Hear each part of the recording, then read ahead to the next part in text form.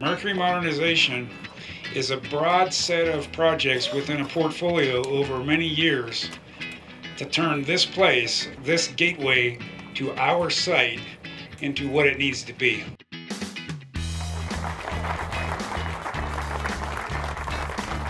This truly is the gateway to the site, and we really want to do it uh, justice and, and uh, honor the, the past and, and build for the future. And, and uh, you know, the Mercury is critical to the NNSS and the NNSA mission. The reason that we're pursuing this project it's really because of all of you standing here, sitting here today, right? It's about the people.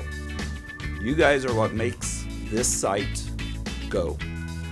You guys are what makes this site a success.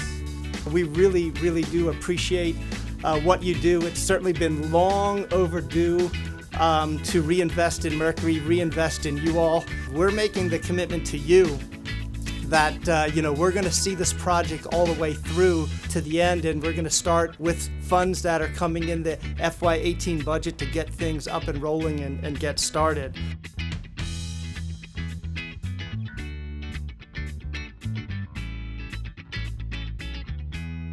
So as we march into the many programmatic initiatives across the NSS, we all must support this initiative, and we must support really the concept of um, providing safe roads, habitable offices, reliable power, modern communication, and really most importantly, safe, secure, and compliant operations. Everybody ready?